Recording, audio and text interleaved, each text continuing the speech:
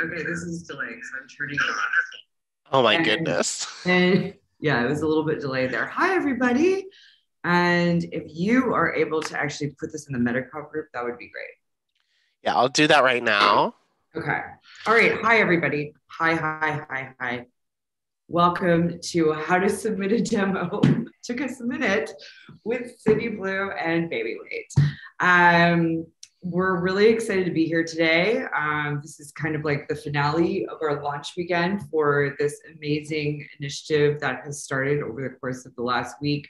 It's been in works for months, but I think we had a really successful launch weekend and so many people are excited to be a part of this group and our community and we're building our community on Metapop right now. It's the numbers of our group is, have jumped up so much. I think we're over 100 members now of female trans and non-binary artists and all different levels of production. And i think that's important. Beginners veterans if you're a veteran please join so you can um, give tips and tricks to people who are starting out. And then if you're just starting out and you want to get into production, I think it's super important to join our community because there's so many people there that can help mentor and help and give tips and advice on making music and all that great stuff.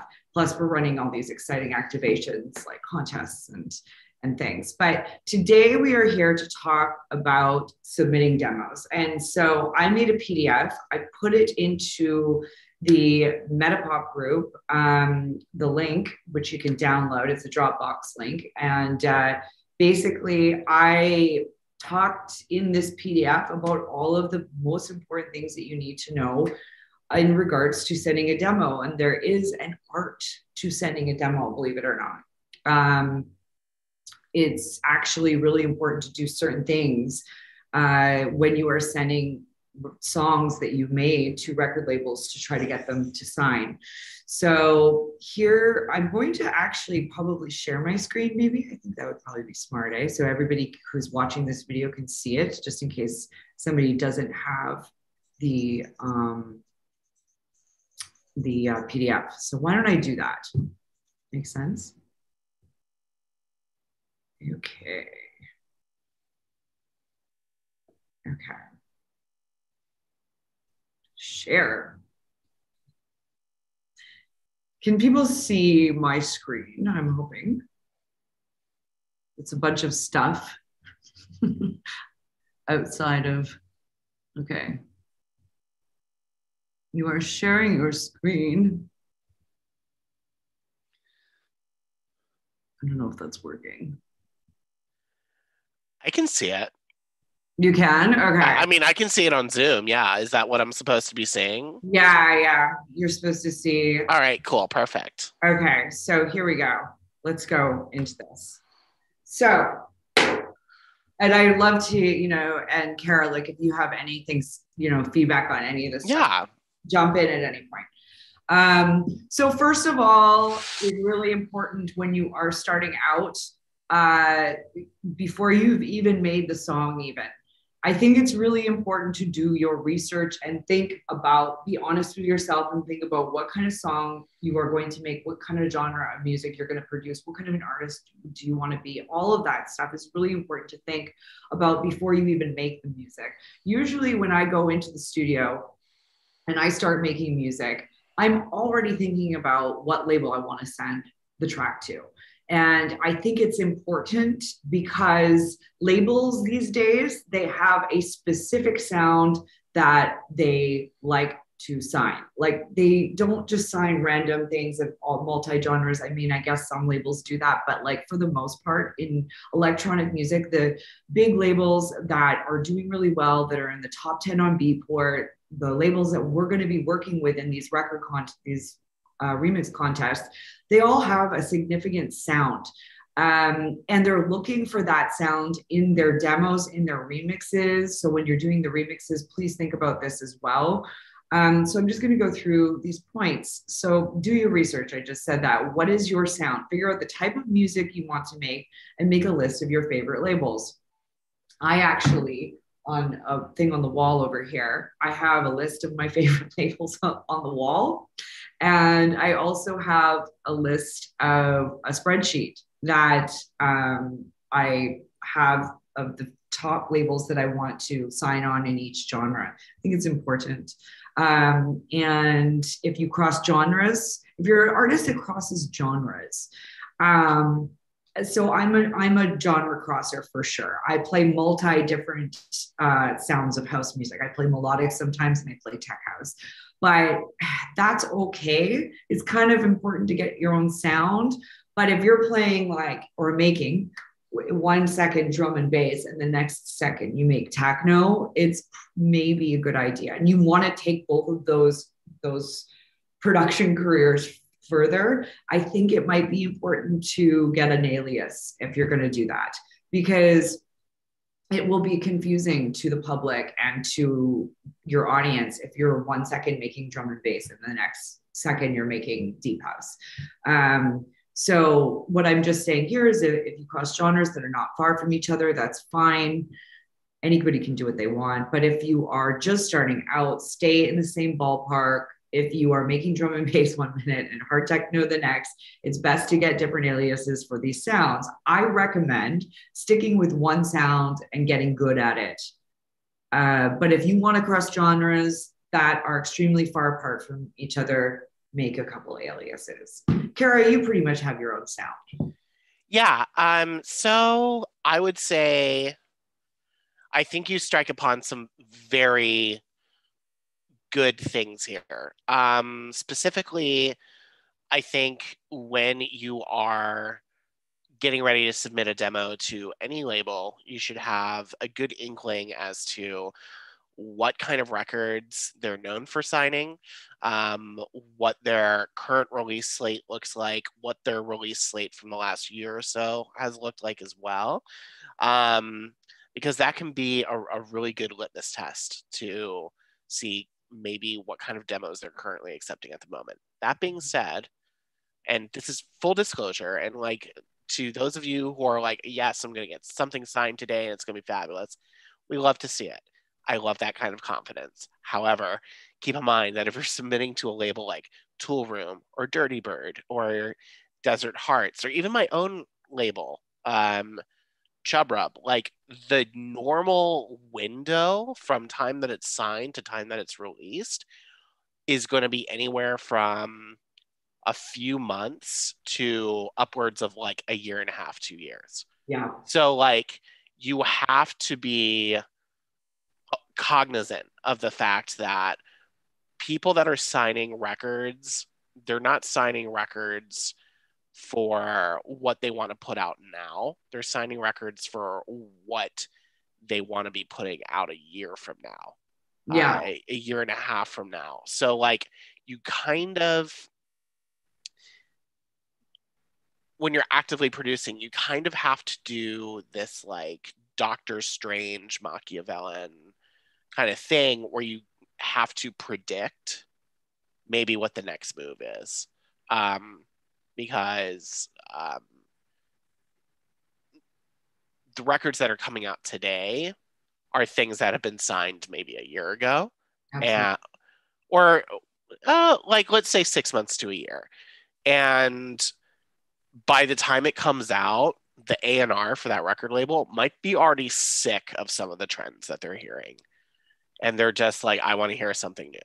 So, yeah. um, don't be beholden to um, any one genre, but just be like like aware that the labels that you're sending these things that that you're sending your demos to have probably heard a few demos that sound exactly like this. And so you, you just need to um, have an upfront contract with yourself upon submission of that demo that maybe what you're submitting is is uh, dated already by the time that it even even if it's like something that sounds fresh and current and new it might already be dated by the time it comes out so like you just need to keep that in the back of your mind and yeah. as far as having other aliases i would say in today's day and age i'm going to like agree and disagree with you. I would say in today's day and age, especially with artists like Justin Jay, for example, um, you can experiment a little bit more. I feel like COVID and being stuck indoors has freed up our creativity in a lot of ways that allows us to experiment. Um, that being said, um, if you are trying to um, streamline your your production, especially like right when you're starting, it's probably best to get really good at one style um, and then kind of move on to other things. So yeah. that way you can already learn things like song structure, like um, uh, arrangement, um, different kind of um, sound design techniques. Um, because like once you get really good at producing house music, then it's literally just like a sidestep to like drum and bass. Like you can then take everything that you've learned about one thing once you've become really proficient at it and apply a, a lot of those skills to a new thing. And then as far as like when you play out, there's nothing keeping you from being multi-genre like when you're playing shows but yeah. people expect a little bit more consistency i would say um, so I would argue that an artist like Justin Martin, for example, who loves drum and bass, will dip his toe into drum and bass during his live shows, especially if he has, you know, more than one hour to play around.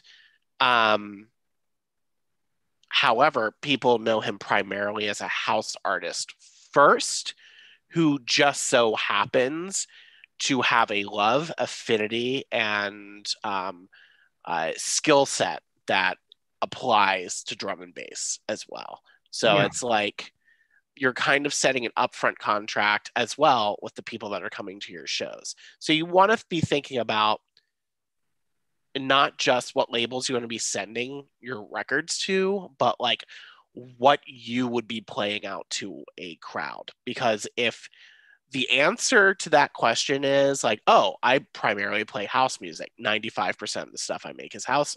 Like 95% of the stuff that's in my crate is house. You should probably be producing house. Like I would reckon that's the smart the smart play for you. Um, even before you start submitting demos. And then feel free to experiment from there. Yeah.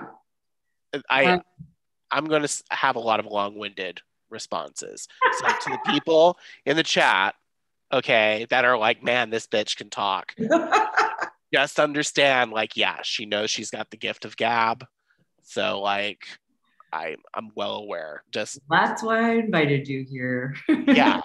It's just like I'm gonna I'm just gonna sit back. I'm just gonna be on autopilot for a moment. Just yeah no feedback is good and like yeah you don't have to take every single thing that i say like i per- personally think like i don't know like it sometimes it's good if you're making one complete opposite sound than the other and alias is good. That's how it's often been done but i agree with you that things are changing. I mean i'm glad and by the way i hope they change because i really enjoy playing um, indie dance and uh, melodic stuff and like people have really pegged me as a tech house artist and so like i don't like that. I want to be able to go out and play indie dance and melodic if i want to so i agree. I really hope that people are more open to being a multi-genre artist okay so i'm going to keep going here yeah. um once again, be honest with yourself. You may be a huge fan of Adam Beyer, but that doesn't mean he's going to sign your vocal tech house track to Drumcode. It would be better to try, for example, Toolroom or Desert Hearts.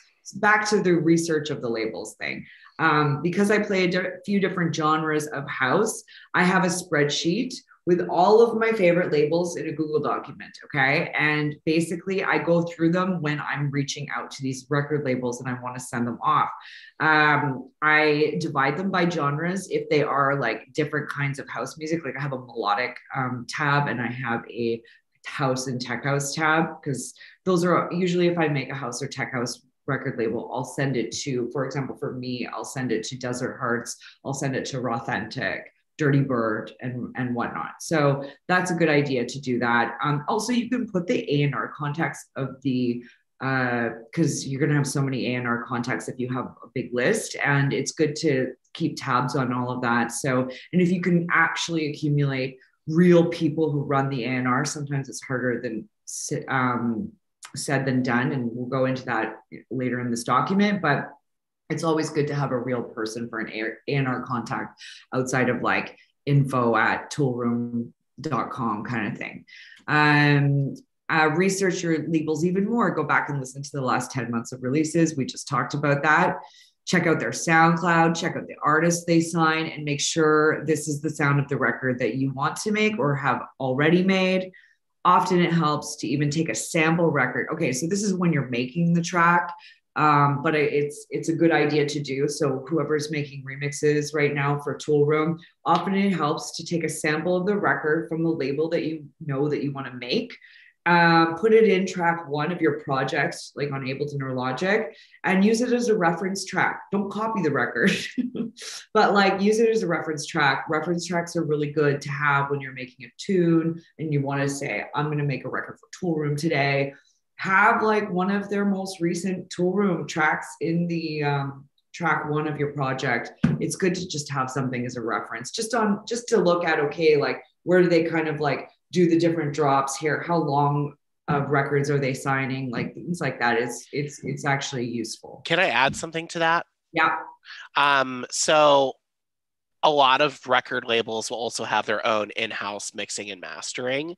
I would say that in addition to that it's useful to have that in your daw of choice be it ableton logic whatever um, simply because um, you're going to find that the way that some labels mix or master their stuff is to taste. And so there's no uniform uh, mixing and mastering amongst all of these labels. And so, like, you might notice that, like, a Desert Hearts um, uh, uh, mix and master um, might have a little bit more uh, low end and like a very specific sub frequency. And so, like, um, having things like that so that it's it's not just like uniform in terms of the arrangement but also in terms of the mix um, is super useful as well because then to the A&R that's listening to it it's like oh this person understands kind of like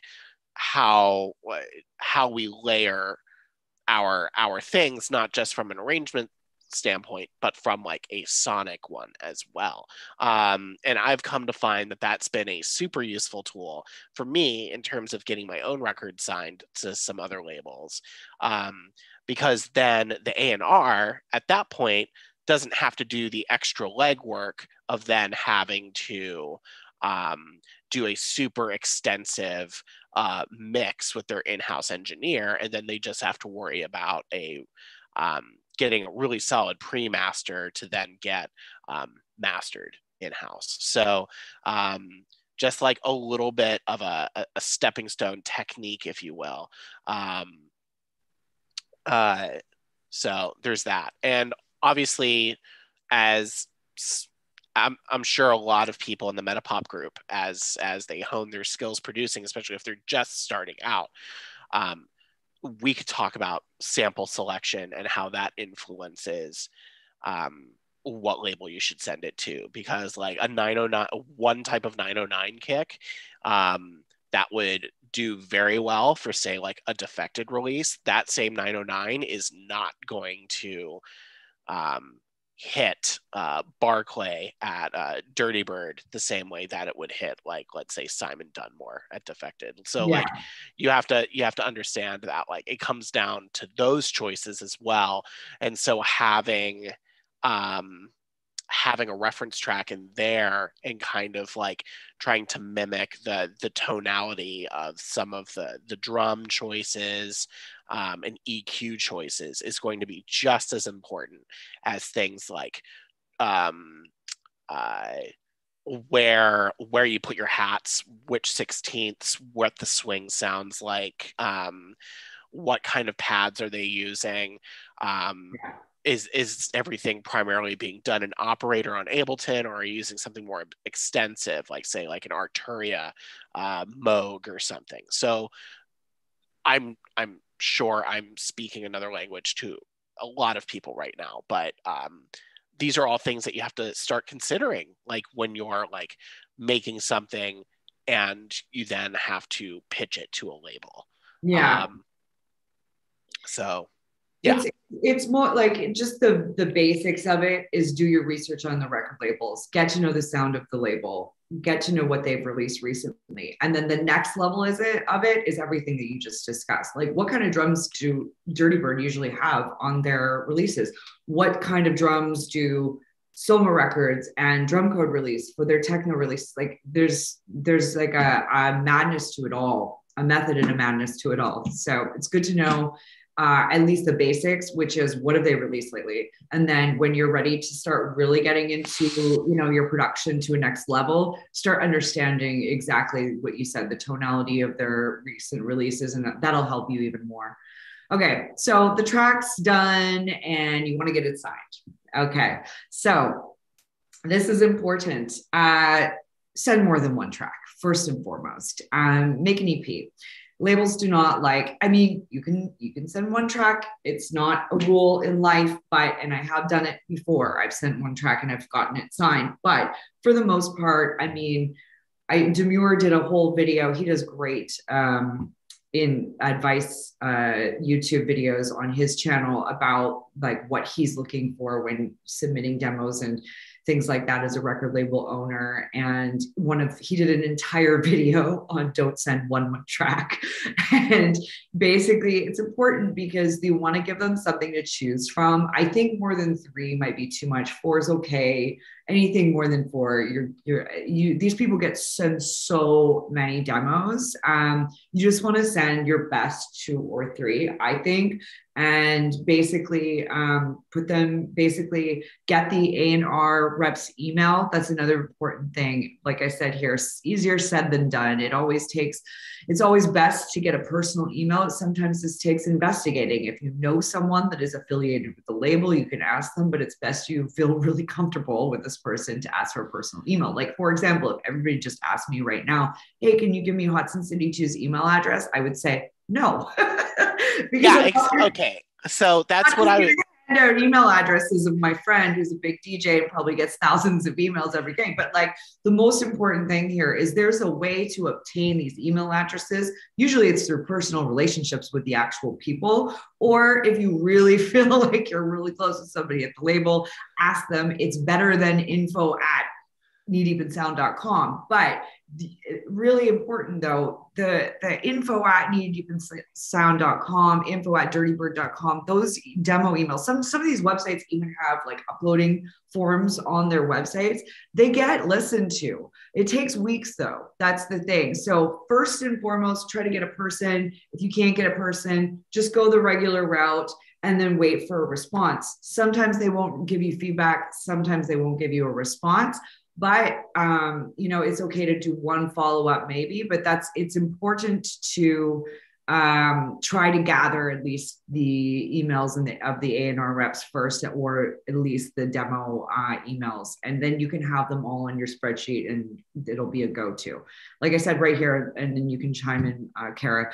Demo emails take weeks sometimes to get back. Often they don't get back at all. Follow-ups after a couple weeks are okay. You can ask for feedback not everybody gives feedback, but I think they should if they um and sometimes they don't have time but if i personally think for women trans and non-binary errors they should be giving feedback uh, but it's the reality is they don't. So uh, send an email maybe two weeks later or three weeks later. If you see it's been listened to once or downloaded um, or if it hasn't been listened to you can also follow up and say hey i sent you this uh, demo a couple weeks ago. Just wanted to see if you had checked it yet even though you know that they haven't because you can see in the, the private link.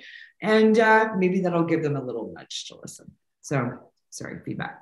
Um, yeah i would say um, all really good sound advice. Um, uh, the one definitely don't send one track at a time and and i would say i would even go so far as to personalize like especially if you're se- sending via soundcloud you'll notice like when you're submitting demos some labels are very specific like no google drive links only dropbox or soundcloud you know things like that first and foremost read those.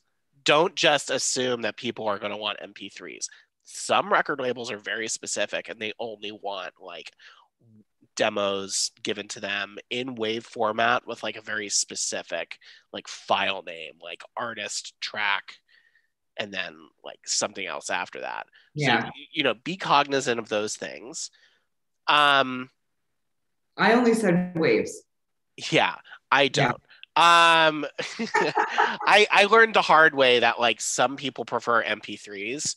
Um, and you know, like you, you just have have to be ready for those curveballs and just have things at the ready. Um, so like I usually wind up exporting or bouncing my masters, my self masters, um, uh, as both a wave and an MP3, just so that I have both, like just in case.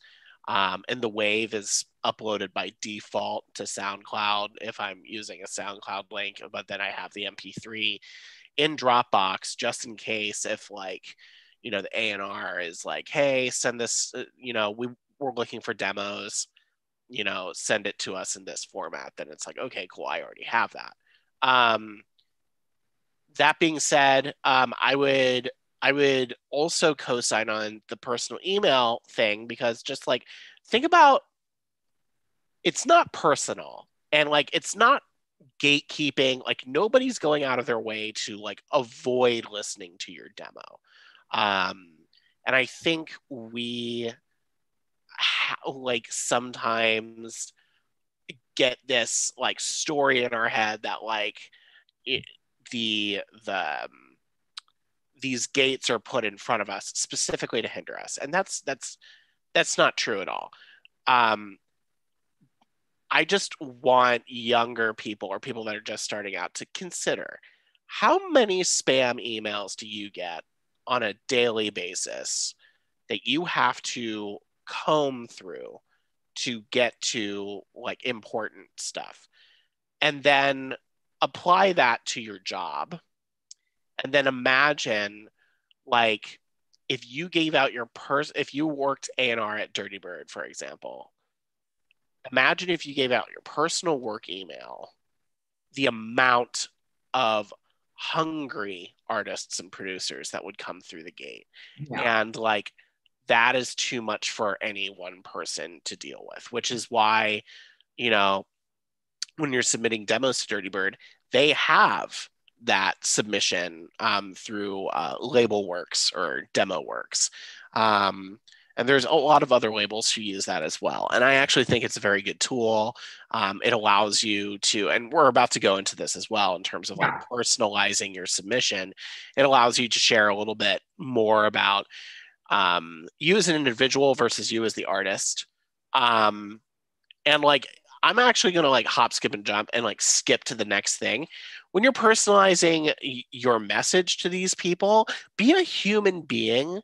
Don't like be like, be like, hey, you need to sign this because you're a quirky, weird label, and I'm a quirky, weird person. Like, no, like nobody wants to hear that. If you sent me something for Chub Rub today, like I get okay, so we use a Google Doc similar to like what Black Book uses. And if the amount of people that send me something where it's just like why do you think you should be a part of our family? And it's it's like a sentence that's just like because you guys are fun or because you're quirky just like me. That's no i'm i'm i will listen to the demo but i will immediately discount that because like i i'm not asking you to like impress me. I'm like asking you to like actually share a little bit about yourself um literally be yourself. Don't give me your whole life story about how your cat named Samantha got stuck in a tree when you were seven. Or, or you played fiddle as a child. yeah, like, you know, like cool.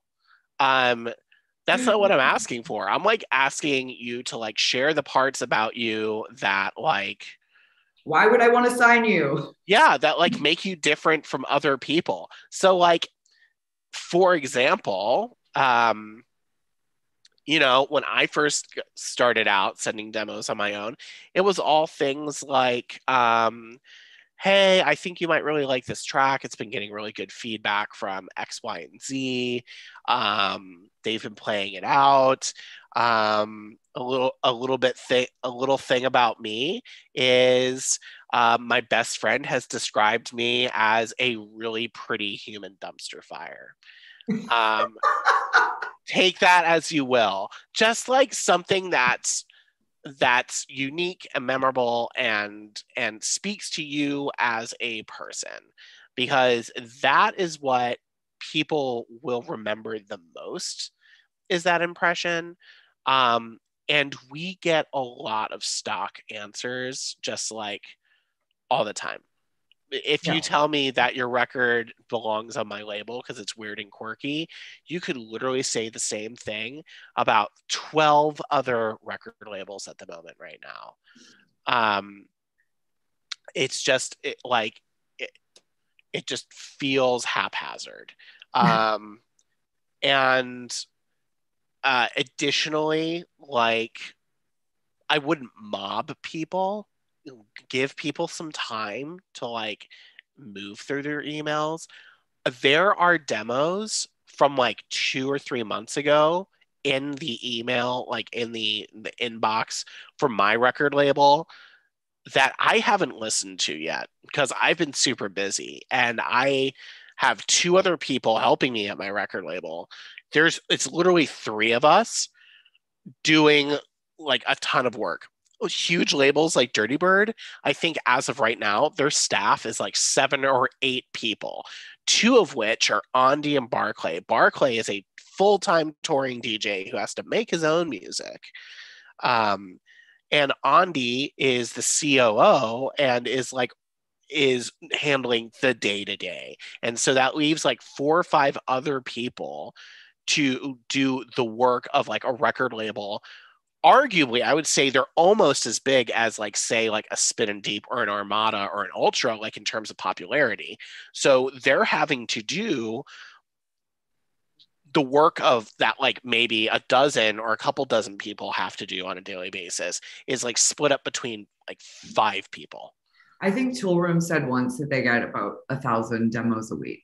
Yeah so and if you get a thousand demos a week, like you need to be patient for them to go through it. You need to at least give them two weeks, at least two weeks before you do a follow up. It's okay to do one follow up. Um, two, mm, I would like, I would two, maybe two after a month or two. But if you see that they still haven't listened to it, maybe. But if they haven't listened to it after a month or two, like you should be maybe sending it to somebody else to check yeah. out. Um, and then additionally to the next point um, because I see this. Um, the one thing I hate more than anything else is when somebody sends me a SoundCloud link, they really talk up the release. They're like, this has been killing it on every dance floor. It's getting co signs from Elton John.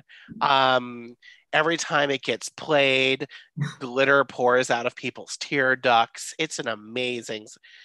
And then I go to click on that, and it's like, oops, this track can't be found because that tells me that you just sent that track to 50 other people on CC or BCC, and it got picked up by another label.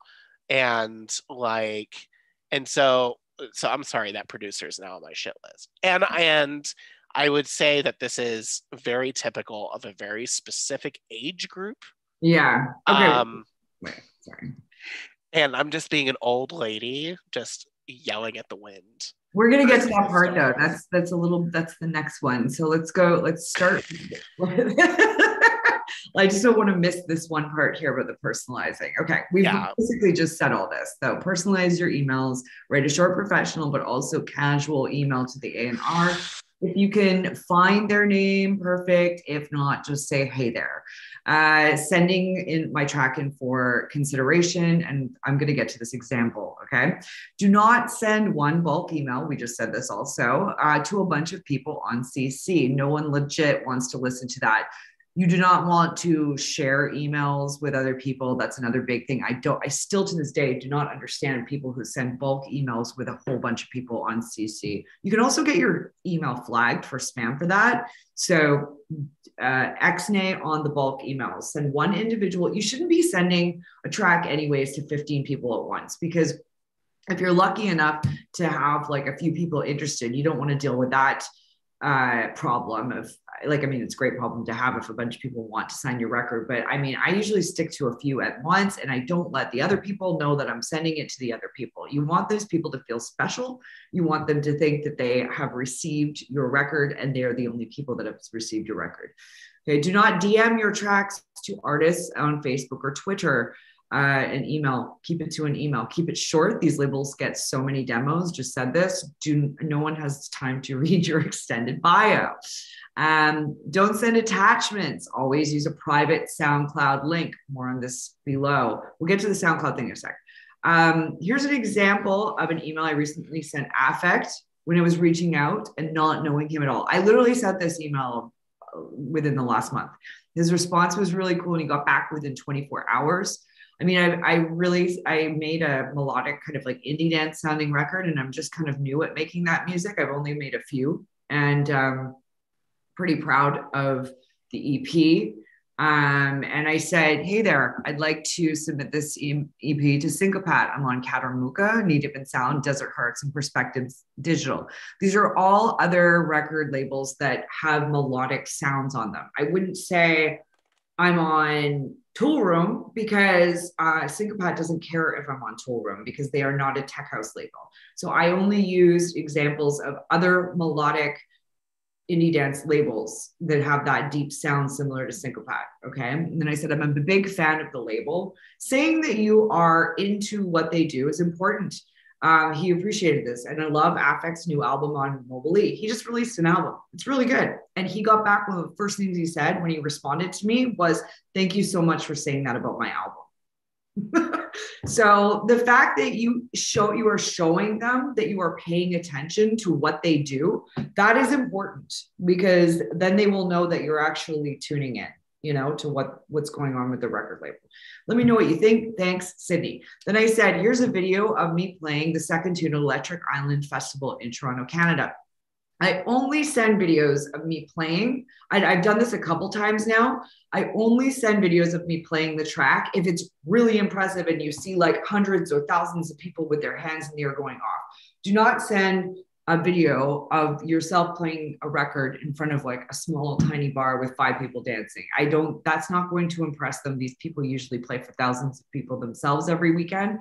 So that a video like that won't do anything however like I said, this video of me playing it at Electric Island, there was like thousands of people. And it was right when the drop went off, and people were jumping up and down with their hands in the air. It, it was impressive. And then also, like I said, keep in mind, I only put the video link there because I was playing it at a festival with thousands of people going nuts. If you have something like this testing your track out, it can help. I recently signed an EP to Desert Hearts showing myself playing the tracks at an after hours with people going crazy. It's proof in the pudding that the track was off. Don't send a video of five people dancing in front of your track. If you want to blow them away, and but um, do this, but the video is not necessary. Ultimately, they will likely want to test your track out themselves, anyways, to see how it goes off in their sets. But it's just a little like tidbit information thing that you can do if you like want to show them what it, what the crowd does. And like I said, it got that I signed the whole EP to Desert Hearts because I sent Marbs the uh, full video of me playing both tracks, and he was like, "Wow!" and he signed it right away. So it it helps. But I was playing; hundreds of people were were dancing in front of it.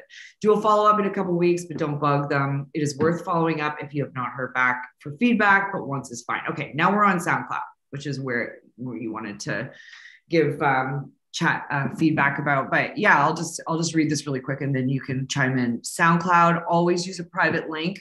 Soundcloud is basically the industry standard for sending demos. You can send it on the upload form which if they request it do that. If you can also send it on dropbox. The problem with sending links dropbox links is you are never going to know if they listened. And this is why soundcloud is like 95% of the time the way that most people uh, send demos, it's how uh, the labels want to receive the demos. And it's best for you as the artist because they will uh, see, uh, you can see if they have listened or not. You can see if they've downloaded it or not, and you can see how many times they've listened.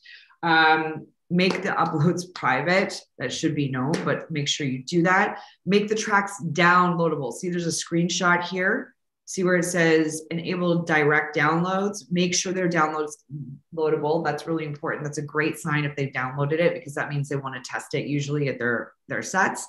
Um, and tick off enable uh, comments and display stats. Okay, this is really important because if you are sending the same link to multiple labels, you do not want them to see that other people have listened. So if you click off display stats, they will not see the number of people who have listened to this and you can send it to multiple people. Okay, you once again, you want them to feel special. And finally, make a set playlist. And if, um, if it's two tracks for the EP, like a little playlist, private playlist, make that private too. Okay. So what what did you want to chime in about that, Karen? Um, you hit all the the talking points on the head. I, um, we do this with um, all of my stuff as well. Um, I'm a little bit of an asshole. I do keep uh, comments enabled, but I don't keep. I check off display comments.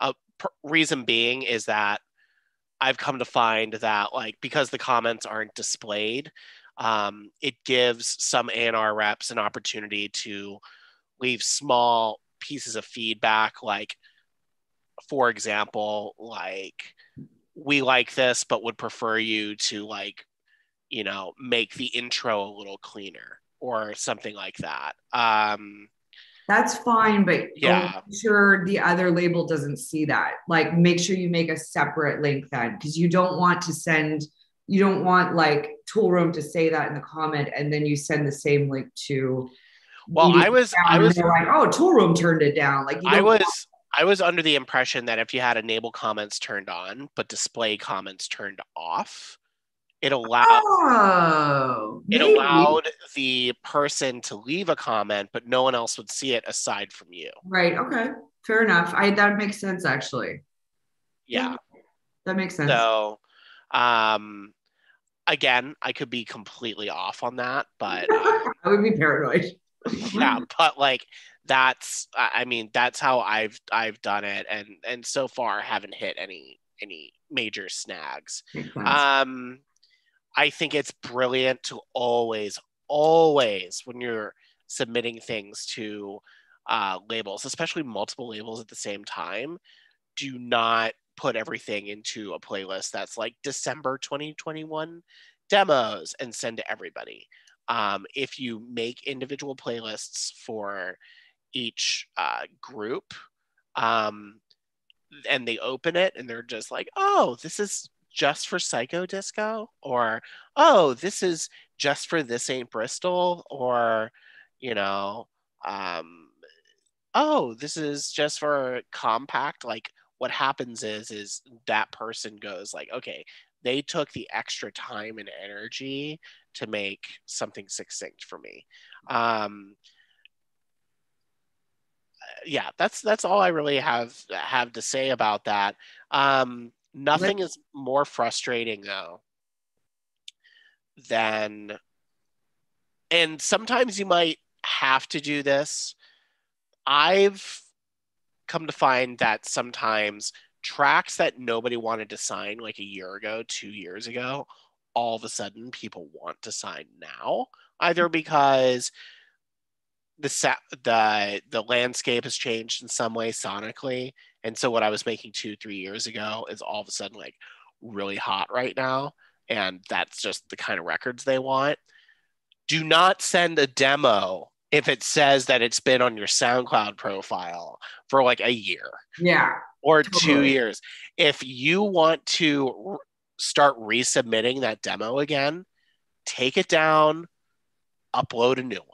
Exactly. Like it's it's it's it's it's that simple. Delete yeah. the old one, bring in the bring in the new one. Yeah.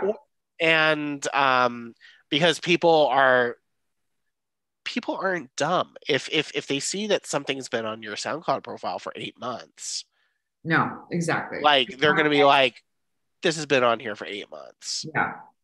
Um, really quick, I, I just want to read this last couple points and then do you want to check to see if there's any questions? Yeah, we actually have a couple. Okay, so I'm just going to finish this because we don't want to go over into Rebecca's talk, which is starting in six minutes. So Yeah. finally, optics. Have you got your socials in order? Make sure they are all up to date. Try to get some followers.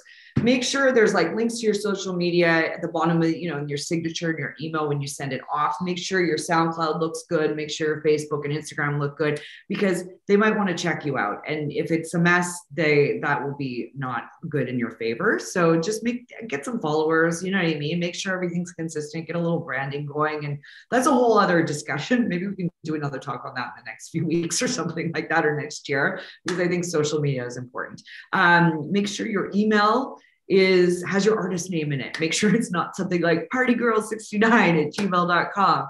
Um, this is important. Have an email that has something to do with your artist name. Uh, make sure everything is labeled properly so they can reach you. I did a Instagram live the other day with Native Instruments, and the first thing that um, we had a whole demo discussion as well. And she said a lot of the record labels get um, sent tracks with no names on them and they don't even know who sent them. I don't know how you can not know who sent it if they sent you an email. Maybe they DM them or something like that. I don't know. But apparently, I guess like if it's not labeled and it's downloaded and it doesn't have the name, you're trying to figure out. Yeah, exactly. It's probably like an ID3 tag or something where Yeah, it's like the, the file name's not labeled properly. Um, So make sure you do that. Just make sure you're reachable and everything's good. So, okay, what are the questions? Let's answer some questions. um, so the first, the, uh, um, it looks like we have a question from Zara. I'm sorry if I'm pronouncing that wrong. Um, when submitting a demo, does it need to be mastered or should one send a minus 6 dB pre-master? I don't think you should send a minus 6 dB. I think you should do a self master and then send it to them and give it the option if they want to uh, master it themselves, then send them the pre master. Yeah. So like I understand. Okay. So this is what I'm going to say is that like if a label really, really likes the track and you send them the pre-master, like, okay, fine. Nine times out of 10 though, slap a limiter on that bad girl and just and and just put it in.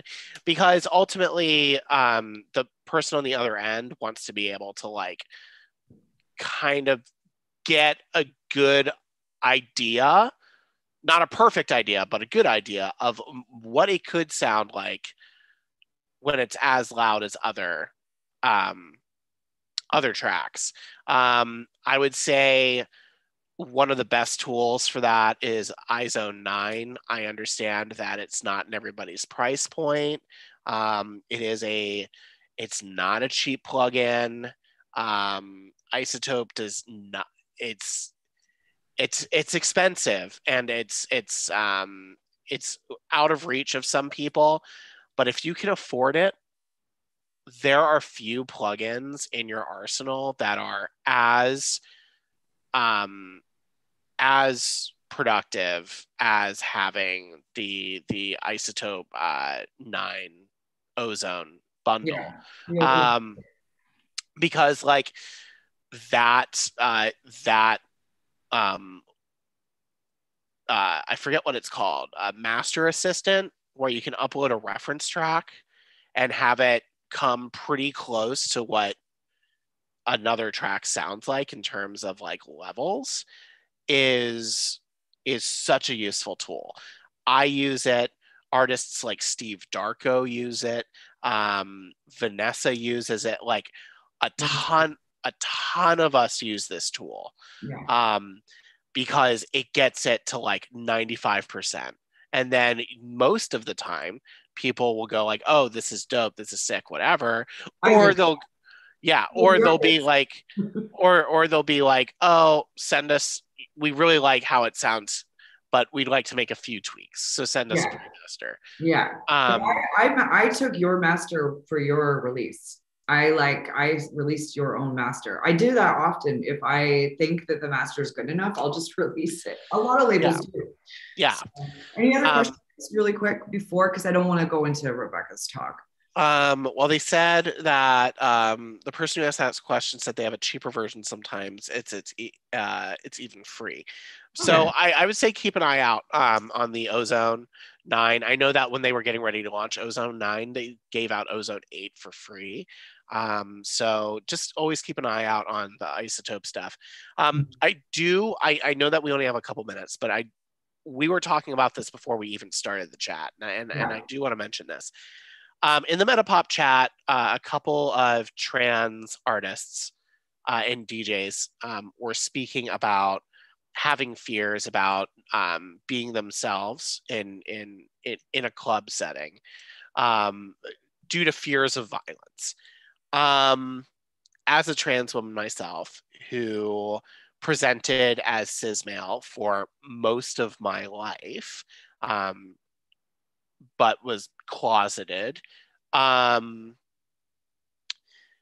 you see a lot of there is a lot of toxic masculine energy in house music right now. It's it, you can't not notice it. Um, and the only way that you could be ignoring it is if you come from like a place where it doesn't permeate your everyday existence. Um, and it's really disappointing. And um, uh, it's it's it's a sign of how, in a lot of ways, the bro culture that came from like big stage EDM acts has kind of permeated into more underground spaces. It's up to us to set the tone as as the people who create the spaces, as the people who perform at these spaces, as the people who are the the pillars of this community. Um, and so I would say that just because there's you should never live in fear of being who you are. Period. The end. Full stop. Being a trans person, you are going to live a life of violence. That is, it, it's just our existence. We have to be constantly prepared for anyone to over overstep. And clubs are, are, are should be a home for us and if those people want to come in and um, be deranged and destroy that space, um, they don't belong there. And it should be up to the people who are maintaining that space, be it the promoter, the people running the club, the bouncers, the managers, whatever, to then take the responsibility. And if they are not taking the responsibility, it is then up to us to ask or rather demand them to do better. And so I would say, in the face of this undercurrent of, of toxic masculine energy and and homophobic and transphobic and and racist energy that's happening in dance music that we have to, that we have to address quite frankly. Um, don't let the other people win. Be yourself. Um, because believe it or not there are more people in the room who will love you and support you and stand up for you than the than the one or two vocal pieces of garbage um, that are also occupying that space. Mm-hmm. Yeah. So. And, yeah, that's important. Making so, our environment safe. Yeah. So I mean, that's that's where I come from. Um, and like I've seen some transphobia um, since coming out. Um, in the music industry, um, in the music space. Um, a lot of it is just misguided people who are not exposed to to uh, the trans community on a daily basis, and so they're just overreaching in search for answers. They're trying to understand. They're trying to grasp the concept, um, and they make up the majority but there is a there is a, a, a group of people who are out to make it known that they feel the space is for them, even though it wasn't created for them. It was created for largely queer um, and, and BIPOC people. Absolutely. Um, uh, to to feel like they could escape the uh, pressures and, and and and fears and, and societal norms that are put on them. Absolutely. So, um, be yourself, even even in the um, the wake and and and and um, very ever present um, potential for for something bad to happen because if if you're not being yourself it's a disservice to you. It's a disservice to the people who love you who care about you. And if you're an artist it's it's a disservice to the people who look up to you either as fans or as peers or because you're not sharing you're not truly sharing who you are. And um, people want to be with you. They don't want to be with some husk some um, um, shallow version of who you really are. So mm-hmm. that's all I really have to say about that. I'm sorry if it was very long winded or kind of all over the place. Um, if you have more, if you want to talk about it with me more, hit me up in the Metapop group. I'd be more than happy to chat. Slide into my DMs on Instagram. I want to hear your stories. I want to be here for any trans or non binary or gender diverse people that are um, into what we're doing. Um, and so, yes, please. Um, I'm here to listen. I'm here to help.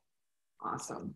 And this is a great segue into Rebecca's discussion because she's going to be talking about safety in our industry as well, which I think is super important. And yeah this is why we have this group too on Metapop is so we can have these kind of discussions and feel safe and we can say whatever we want amongst ourselves on how we're feeling about the industry and how it's treating us. I think we've all been in situations where we haven't felt comfortable due to the way certain people have made us feel. So anyways, this was a really great discussion, and I hope everybody takes away for it as much as they can from the um, demo advice. If you have any questions about the PDF that I uploaded with the link. Or if you have any questions about what we talked about today, please shoot me a message um, in the Metapop group, or you can also comment on faith on YouTube because this is being streamed live on YouTube. Um, and I'm happy to respond to anybody um, with any questions. And we'll leave it off here.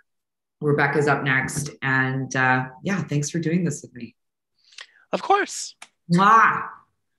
Okay, I'm gonna stop streaming now. Um, see you guys very soon. And hold on, actually.